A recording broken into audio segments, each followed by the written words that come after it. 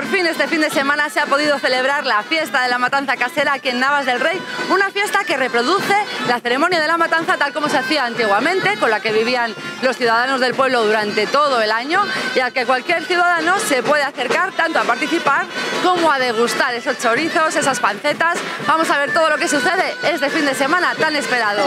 Por todo lo alto, en ambiente festivo y con gran afluencia de público, los días 20 y 21 de abril tuvo lugar la esperada fiesta de la matanza casera, una excelente oportunidad para recuperar la cultura popular y la tradición de Navas del Rey. Pero pues como concejala de cultura creo que es súper importante mantener estas tradiciones que hoy antes se hacían en todas las casas de nuestro pueblo. Está viniendo un montón de público aquí a, a pasar esta fiesta con nosotros y sí requiere mucho trabajo, llevamos muchos días con ello, pero bueno, aparte de trabajar nos lo pasamos genial, así que merece mucho la pena la celebración.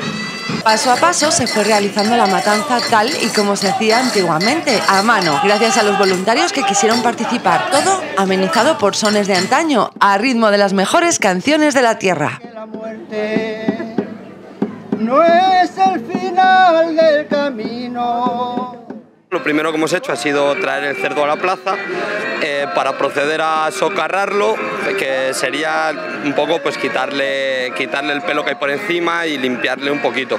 Y ahora luego pasaremos a, ponerle encima de la mesa para poder abrirle, sacarle las vísceras, las tripas y bueno, ya dejarle limpio y luego ya le colgaremos para orearle. Soy un zarzal y vengo a este pueblo porque es una costumbre que tenemos nosotros, que les ha gustado y además aquí ya unos años haciéndolo con ellos. Luego esto es una herramienta que hemos preparado nosotros para coger y, y rascar. Esto lo he hecho yo y se hace muy bien con ello. Después de orearle lo que, lo que ya se hace, se trocea, hay gente que guarda los jamones y los lomos, pero bueno, lo que vamos a hacer nosotros es trocearle para poder hacer picadillo, para hacer chorizos, morcillas, salchichón, no sé si se hará algún salchichón, y bueno, y, y lo que a mí más me gusta, la careta, echarle la brasa para comérnosla. Luego ya pues haremos el aderezo con el pimentón, la sal, el orégano, el, yo que sé, un montón de cosas y, y, ya para embutirlo, para poder dejarlo a secar, para poder comérnoslo. Aderezar la morcilla es todo un arte, así nos lo contaban. Somos de Moralzarzal. Venimos a hacer las morcillas y los chorizos con esta gente de las Navas del Rey. Estamos preparando el aliño de las morcillas. Consiste en sangre del cerdo, las tripas, arroz, y luego 12 ingredientes. Sal gorda,